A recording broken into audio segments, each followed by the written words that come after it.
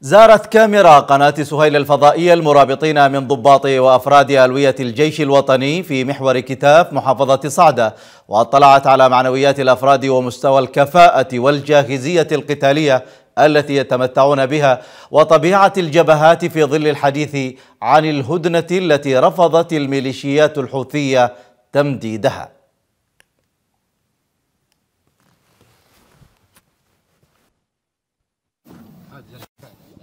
مصور المايك المايك قصدنا خطوة صورنا إحنا. خلاص يصور يمشي. عادي عادي إحنا قريبين عادي. بالدم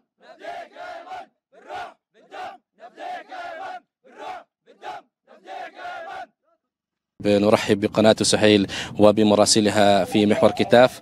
وهذا شيء جميل أننا نكون مكملين مع بعض إعلامي الميدان مع إعلامي القنوات وهذا مما يثلج الصدر.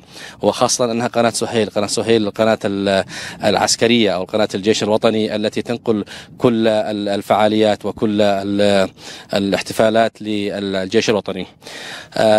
الهدنة وما أدراك ما الهدنة؟ على مدار التاريخ لم يلتزم أو لم تلتزم الميليشيات الحوثية بأي هدنة على مر التاريخ.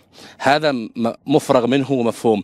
نوجه هذه الرسالة للقادة السياسيين عليهم أن ينتبهوا لهذا الأمر لأن الميليشيات الحوثية هي تتملص وتتر وتتراوغ في أعمالها ولكي تكسب أمور وتكسب أشياء في ذاتها من ضمنها التسليح من ضمنها التجهيز للمعركة القادمة وما إلى ذلك. نحن في الجيش الوطني وفي محور كتاف لدينا توجيهات أنه إذا تم التعامل مع إذا تم التعامل نرد عليه بالمثل لا لازلنا ملتزمين بالتهدئة هي هي أصلا ليست هدنة هي عبارة عن تهدئة وإنما آه نحن آه إذا تم أي استهداف لدينا سنرد عليه بالمثل إن شاء الله. لم تلتزم الميليشيات طول عمرها القتالي بأي هدنة وجدت سواء في الحروب الست أو في حرب دماج أو في اتفاق السلم والشراكة لم تتفق بأي هدنة. ونحن هنا معنا توجيهات من الأخ قائد المحور حفظه الله ورعاه ومن القيادة السياسية. متى ما تعاملوا عليكم ردوا عليهم بالمثل. ومتى ما ارادوا سلما فنحن أهله. ومتى ما أرادوا حربا فنحن أهل مرتين. نحن هنا رسالتنا واضحة. آه بجبهات العز والإباء من هذا المكان والشموخ. لا تزال أعيننا على أوكار العدو وسلاحنا قابض على الزناد. ننتظر اللحظات بعد اللحظات لأن ننقض على العدو الغاشم الجاثم و الشكر والتقدير لأن دل على شيء بل يدل على كل من ساهم معنا. والشكر والتقدير الكبير لقائدنا اللواء الركن الداد الهاشمي حفظه الله وقائد وكذلك قائد القطاع.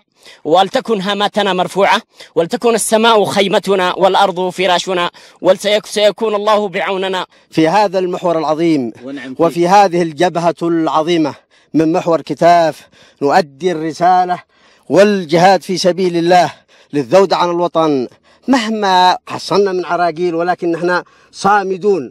وبهذه شيبتي وبهذه لحيتي لكن إن الوطن غالي على الكبير والر... على الكبير والصغير. وبإذن الله سبحانه وتعالى نشكر القائد الذي وفر لنا كل الإمكانيات والذي أعدنا أفضل الإعداد في محور كتاف. يكفينا مهزلة ويكفينا هيانة. لابد أن نمسك البنادق وأن نذود عن الوطن كما ذاد ابائنا وأجدادنا لقيام الثورة السادسة والعشرين المباركة إن شاء الله.